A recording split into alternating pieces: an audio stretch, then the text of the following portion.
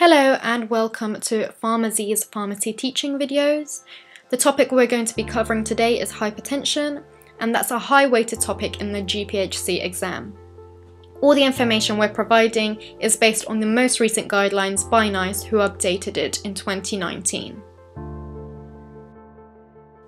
Hypertension is defined as a persistently raised arterial blood pressure, which increases the risk of stroke, myocardial infarction, heart failure, chronic kidney disease, and premature morbidity and mortality. So, of course, the aim of treating hypertension is to reduce these risks. Risk factors include advancing age, women aged 65 to 74 years, patients of Black African or African Caribbean family origin, emotional stress and anxiety, and lifestyle factors, which include smoking, lack of exercise, increased BMI, and dietary factors such as high alcohol and caffeine consumption, high dietary salt intake, high total and saturated fat intake, and poor fruit and vegetable intake. So, whilst the first three risk factors are uncontrollable, it's important to offer support to patients to make healthy changes to their lifestyle and bear in mind that these need to be practical. So, an older patient won't be able to carry out intensive exercise as a lifestyle change. Instead, you might be able to advise them to move around the house a little bit more, use the stairs as steps, and just avoid a sedentary lifestyle in general. And you can set goals and targets for that patient. This is really important because many pharmacies are now becoming healthy living pharmacies. And if you're carrying out the smoking cessation service, you can highlight that quitting smoking reduces the risk of hypertension and that therefore reduces other complications that might occur that we've discussed. So, what are the thresholds for treatment? Well, normal blood pressure is around 120 systolic over 80 diastolic, and there are three stages of hypertension. Stage 1 is a clinic blood pressure of 140 over 90 and an ambulatory daytime or home average blood pressure of 135 over 85. The reason why we undertake both sets of measurements is because in a clinical setting, there's something called white coat hypertension effect, in which some patients may have a blood pressure that's slightly elevated in the examination process because of nervousness or anxiety caused by being in a clinical setting. So that can cause a discrepancy of more than 20 over 10 between the clinic and the ambulatory or home average blood pressure measurements. So it's really important to undertake both in order to confirm the hypertension diagnosis as well as the stage of hypertension. For stage 1, we treat patients under 80 years who have target organ damage, cardiovascular disease, renal disease, diabetes, or a 10 year cardiovascular risk equal to or more than 10%. If they're over 80 years, antihypertensives may be considered if their clinic blood pressure is more than 150 over 90. For stage 2, that's a clinic blood pressure of 160 over 100 and an ambulatory daytime or home average blood pressure of 150 over 95. And in stage 2, we treat all patients regardless of their age. For severe hypertension, that's a clinic systolic blood pressure equal to or more than 180, or a clinic diastolic blood pressure equal to or more than 120. And in those cases, we treat patients promptly. Often that requires a same day specialist referral. Just a note to bear in mind that blood pressure is measured whilst standing and sitting in patients with type 2 diabetes, symptoms of postural hypotension, or if they're aged 80 years or above, um, rather than just doing the simple sitting down blood pressure monitoring that you often see. So, targets for treatment. For patients under 80 years, we aim for a clinic blood pressure equal to or less than 140 over 90 and an ambulatory or home blood pressure equal to or less than 135 over 85. For patients over 80 years, we aim slightly higher, so a clinic blood pressure equal to or less than 150 over 90 and an ambulatory or home blood pressure equal to or less than 145 over 85. For patients who have postural hypotension, we base a target on their standing blood pressure. And these targets are a general guide, but they're adapted based on the fragility of the patient and their tolerability and multimorbidity. So moving on to drug treatments. A single antihypertensive isn't usually enough for the management of hypertension, so we follow a stepwise treatment ladder until control is achieved. Antihypertensives are titrated to the optimum or maximum tolerated dose at each step of treatment before moving on to the next step. So let's have a look at this in a little bit more detail. For any patient with type 2 diabetes, regardless of their age or ethnicity, or in patients under 55 years, First line treatment is an ACE inhibitor or an angiotensin receptor blocker.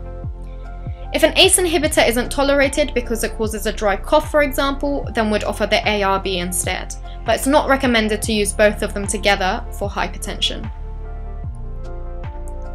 If that isn't enough, we add in a calcium channel blocker or thiazide-like diuretic. If the calcium channel blocker isn't tolerated because of causing edema, as patients can complain of ankle swelling, then we'd offer the thiazide-like diuretic instead, and that's usually indapamide. Would also offer the thiazide-like diuretic in preference if there's evidence of heart failure in the patient. Third would be a combination of ACE inhibitor or ARB plus the calcium channel blocker plus the thiazide-like diuretic. And fourth would be known as a case of resistant hypertension, so where they haven't responded adequately to the above three medications. In that case, what we first do is confirm the elevated blood pressure with ambulatory or home blood pressure monitoring. we check for postural hypotension and we discuss adherence to the drug treatments with the patient. So are they actually taking their medications? If they have been, then at that point we seek expert advice or add in a low dose spironolactone if the potassium levels in the blood are equal to or less than 4.5 millimoles per litre, or an alpha or beta blocker if the potassium levels are more than 4.5 millimoles per litre. Would also seek expert advice if the blood pressure is uncontrolled or they're on an optimal tolerated dose on all four drugs. So for patients of black African or African Caribbean family origin who don't have diabetes but are of any age, or patients over 55 years, the first line treatment is slightly different, so we reorder. They are offered first a calcium channel blocker, and then for second line we add in an ACE inhibitor, ARB or thiazide-like diuretic. For patients of African or Caribbean origin, the preference is a calcium channel blocker in combination with an ARB, and that's because these patients respond better to ARBs. And for third line and fourth line treatment, we treat it the same as being under 55 years, so what we've already covered. Moving on to hypertension in other comorbidities. So in type 1 diabetes, we aim to reduce blood pressure in order to reduce the risk of macrovascular and microvascular complications. The target clinic blood pressure is equal to or less than 135 over 85, but if type 1 diabetes is accompanied by albuminuria or two or more features of metabolic syndrome, then the target is equal to or less than 130 over 80. In terms of treatment, we start with an ACE inhibitor or ARB and work from there, so similar to type 2 diabetes. And in renal disease, so chronic kidney disease for example, the target is equal to or less than 140 over 90. But if renal disease is accompanied by diabetes, or if the urine albumin and creatinine ratio is equal to or more than 70 milligrams per millimole, then the target's equal to or less than 130 over 80. In terms of treatment, we aim to use once daily drugs and we usually start off with an ACE inhibitor or ARB and that's because these are renoprotective. We monitor EGFR as many antihypertensives are renally eliminated as well as blood potassium levels as they can cause hyperkalemia as a side effect. Moving on to hypertension in pregnancy. Now, the guidelines have recently changed on this quite drastically. Around 10% of pregnant women are affected by hypertensive disorders, which can cause serious complications to both mother and baby, both in terms of morbidity and mortality. There are three types of hypertension in pregnancy Chronic, which is hypertension diagnosed pre pregnancy or in the first 20 weeks gestation. Gestational hypertension, which is new onset hypertension after 20 weeks gestation. And preeclampsia, which is hypertension occurring after 20 weeks gestation with multi organ involvement.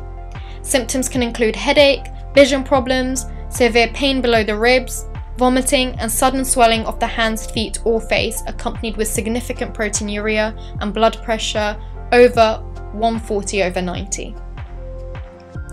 Pregnant women are at a high risk of developing preeclampsia if they have chronic kidney disease, diabetes mellitus, autoimmune disease, chronic hypertension, or if they've had hypertension in a previous pregnancy. And in these cases, women are advised to take aspirin from week 12 of pregnancy until the baby is born. Similarly, if a woman has more than one moderate risk factor for developing preeclampsia, then they're also advised to take aspirin. In all cases of hypertension in pregnancy, including chronic, gestational, and preeclampsia, patients should be referred to a specialist. So, how do we treat it? In pregnant women who have chronic hypertension and they were already receiving antihypertensives, they'll have their ACE inhibitors, ARBs, thiazide, or thiazide like diuretics stopped, and that's because they can cause an increased risk of congenital abnormalities. In pregnant women with a sustained blood pressure of 140 over 90 or higher, they're offered labetalol orally first line, and that's to achieve a target blood pressure of 135 over 85 or less. If labetalol is unsuitable, then we would consider nifedipine modified release, although that's unlicensed. And if both labetalol and nifedipine are unsuitable, then we would consider methyl dopa, but again, that's unlicensed. In women with a blood pressure of greater than 160 over 110, they would require critical care and should receive immediate treatment with either oral or intravenous labetalol, oral nifedipine modified release, or intravenous hydralazine. And again, that's to achieve a target blood pressure of 135 over 85 or less. For severe hypertension or severe preeclampsia, patients are given intravenous magnesium sulfate in a critical care setting. Appropriate antihypertensive treatment should be continued if required after birth, with dose adjustments according to blood pressure. And women who've been managed with methyl dopa during pregnancy should discontinue treatment within two days of the birth and be switched to an alternative antihypertensive. And finally, hypertension in breastfeeding. So, women who are on antihypertensives in the postnatal period can still breastfeed if they wish to do so. For women who do decide to breastfeed, we offer enalapril first line to treat the hypertension in that postnatal period. But if women are of Black African or African Caribbean family origin, we'd consider nifedipine or amlodipine first line instead, and that's because they respond better to calcium channel blockers, which we mentioned in the normal guidelines. If blood pressure isn't controlled with a single drug, then would consider a combination of nifedipine or amlodipine and enalapril. If this combination isn't tolerated or ineffective, then would consider adding in or swapping in labetalol or atenolol to the combination treatment. Women with hypertension in the postnatal period who don't plan to breastfeed should be treated in the same way as normal so the guidelines that we've already discussed. So that's all for hypertension. I hope you found the summary on hypertension useful, including the thresholds, the targets, and the drug treatments. Feel free to leave any feedback or comments and keep an eye on our PharmaZee Instagram page where we'll be doing a quick, a quick quiz on hypertension. Thank you.